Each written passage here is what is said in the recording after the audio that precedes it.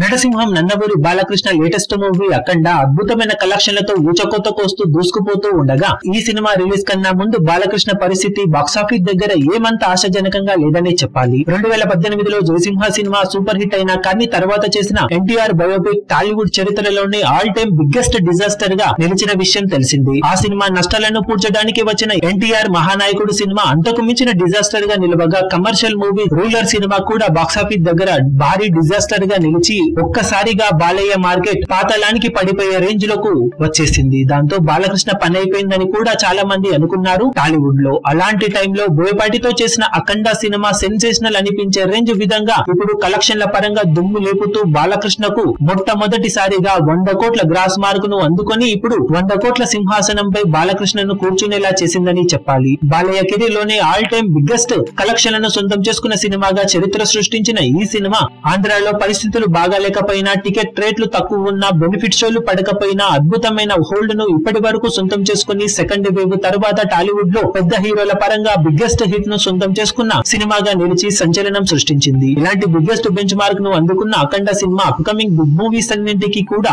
భారీగా హోప్స్ను ఇచ్చిందనే చెప్పాలి. ఆల్మోస్ట్ పాతాళానికి పడిపోయాడు అనుకున్న బాలకృష్ణ ఏకంగా ఇప్పుడు కెరీర్లోనే బిగ్గెస్ట్ హిట్ను ఈ సినిమాతో సొంతం చేసుకుని కంబ్యాక్ అంటే ఇదేరా అనిపించే రేంజ్ సెన్సేషనల్ కంబ్యాక్ను సొంతం చేసుకున్నాడని చెప్పవచ్చు. ఈ వీడియో మీకు నచ్చినట్లయితే లైక్ చేయండి షేర్ చేయండి ఛానల్ను సబ్స్క్రైబ్ చేయడం మాత్రం మరవకండి. ఏ చిన్న అప్డేట్ను మిస్ అవ్వకూడదు అనుకుంటే బెల్ ఐకాన్ను ప్రెస్ చేయండి.